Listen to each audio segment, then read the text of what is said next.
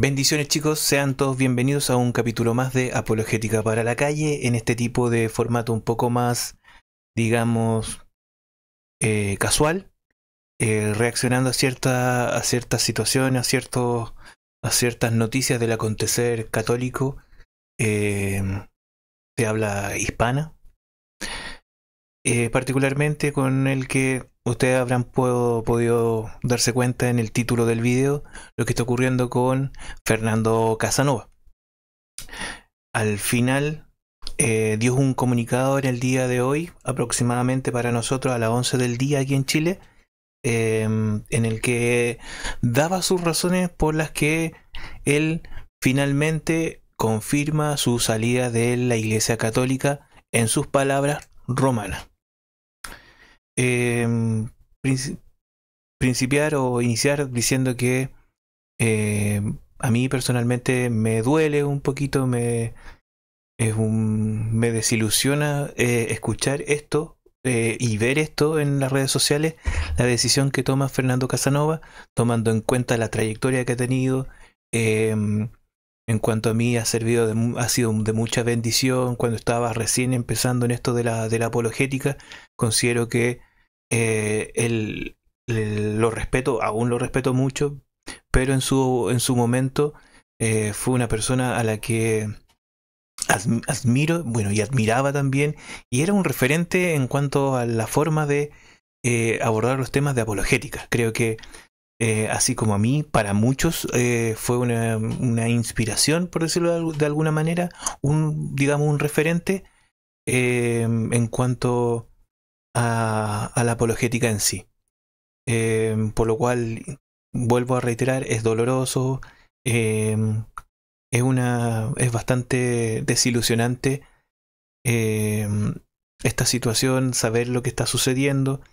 Y en base a eso quería más que nada eh, dar mis apreciaciones. La verdad no voy a, no voy a refutar el, el video porque él da sus razones, digamos, teológicas para, para sostener su, su decisión. Y creo que más allá de, la, de lo que a mí me puedan parecer su, su, su, su argumento, su, sí, digamos su argumento, que creo que eh, serían no tan difícil de abordar y además que ya se han visto en este canal, muchos apologistas lo, también lo, lo han, lo han abordado de forma yo encuentro satisfactoria, creo que no, no viene al caso. Eh, tampoco creo que sea la mejor opción en este momento eh, reaccionar refutando al, al video de Fernando Casanova por lo mismo, porque no creo que resulte en algo beneficioso en este momento. Además que ya son argumentos que se han visto, así que no es algo nuevo, digamos. Yo creo que eh, particularmente pienso yo que eh, esos argumentos teológicos eh, a lo- los que ha llegado supuestamente después de, un largo estudio son mm, son las causas, digamos, son las causas inmediatas. Pero creo que hay algunas causas básicas que están detrás de, de la decisión que ha tomado.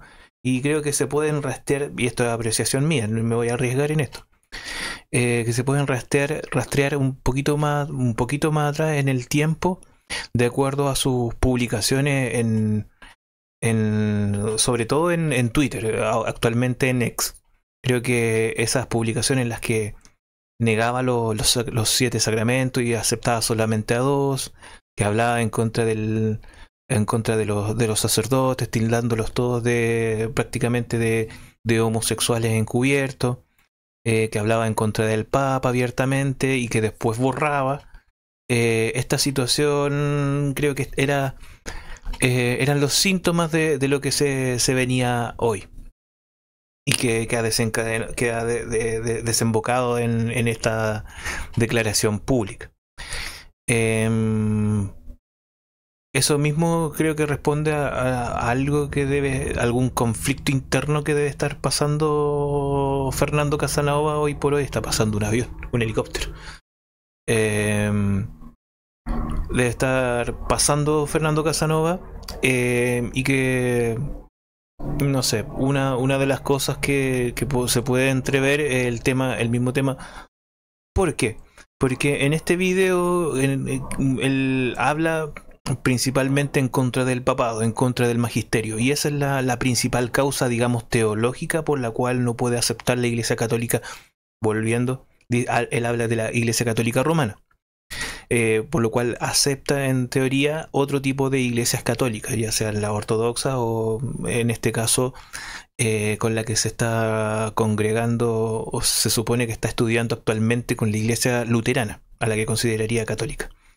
En fin, Em, está en contra del en contra de este del magisterio en contra del papado y él lo manifiesta porque según él después de, de sus estudios él ha encontrado que no hay eh, bases bíblicas e históricas que puedan sostener el papado desde, desde un punto de vista o, repuntándose a los apóstoles. Lo cual es curioso porque tantas veces que él mismo podría refutar esa postura en sus propios videos. Creo que eh, eso eh, es triste y, tiene que ver más que, más que lo teológico con una situación puntual del que el tema de el rechazo a cierto cierto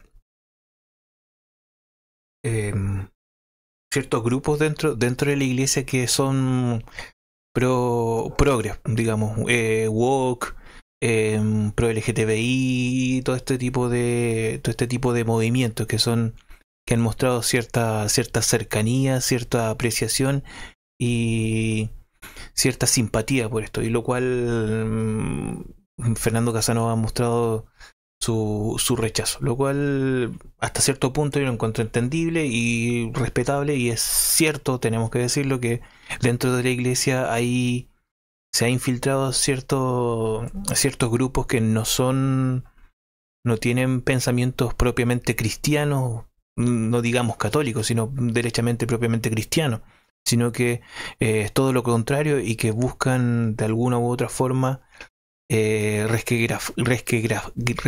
ah, ayúdeme por favor, eh, destruir eh, a la iglesia. Y eso es cierto, eso no podemos hacer los, tontos, lo hemos, estado viendo, lo hemos visto y lo seguiremos viendo porque a través de la historia de la iglesia no es la primera ni la última vez en la que estemos pasando por este tipo de situaciones. Ahora, es curioso eso mismo que Fernando Casanova se, abiertamente eh, abandone la iglesia y muestre sus puntos porque son los mismos puntos que él había refutado, como les decía yo anteriormente, en otras oportunidades con argumentos sólidos también. Y también el, hecho de, hacer una, una declaración pública, mm, también no sé, no sé qué, qué es lo que que se esconderá ahí tampoco, no quiero pensar mal tampoco. Pero un tipo de declaración así, lejos de beneficiar, yo creo que muchas personas eh, se van a ver afectadas de forma eh, negativa. Católicos sobre todo.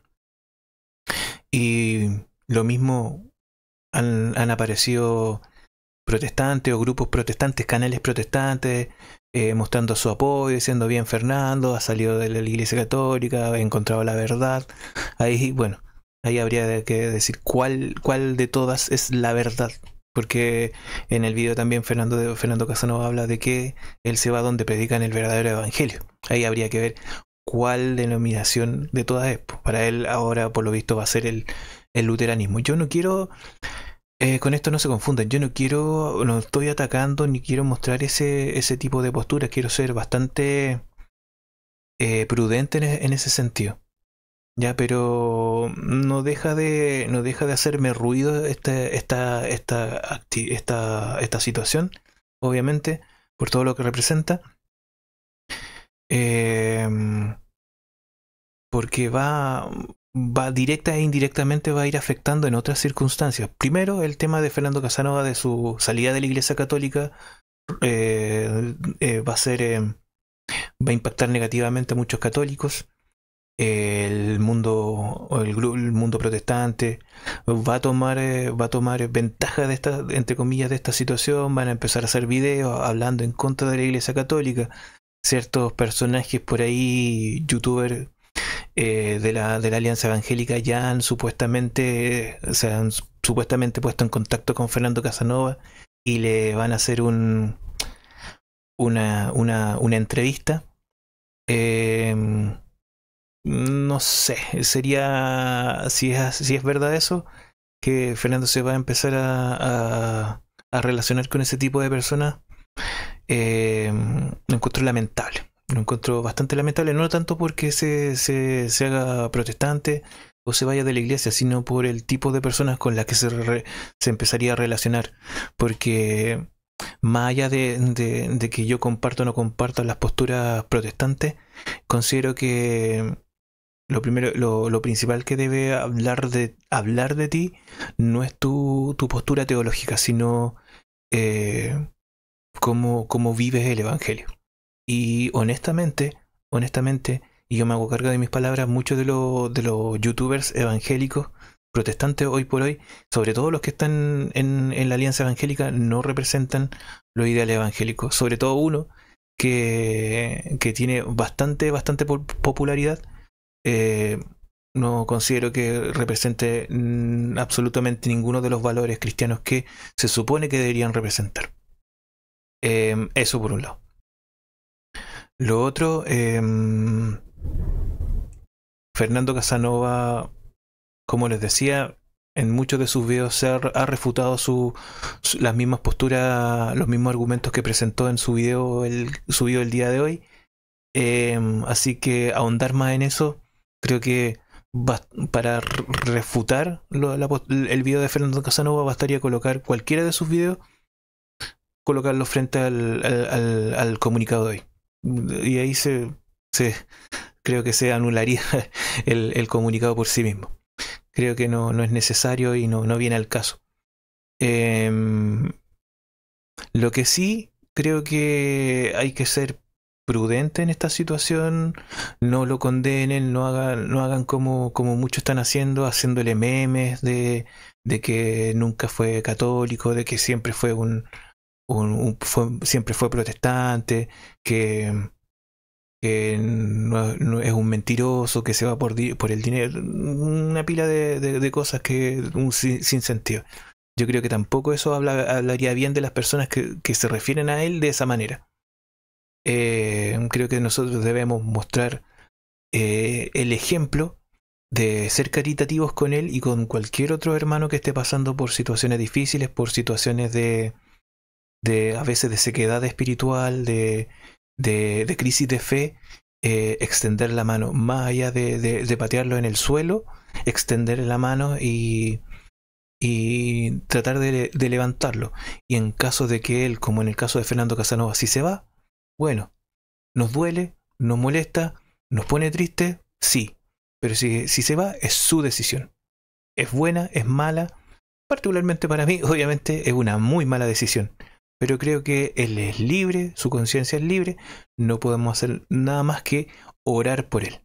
Creo que la mejor situación, en, o sea, la mejor decisión, la mejor, lo mejor que podemos hacer nosotros hoy por hoy por, el, por Fernando Casanova, más allá de refutar su, su, su video, de, de, hacerle memes, de, de, condenarlo públicamente, de llamarlo hereje, porque, claro, también estaban los que los que lo apuntaban le decían, no, está excomulgado anteriormente con su con sus em, publicaciones en Twitter, que estaba eh, eh, prácticamente excomulgado, eh, la de sentencia y todo, todo, todo, eso.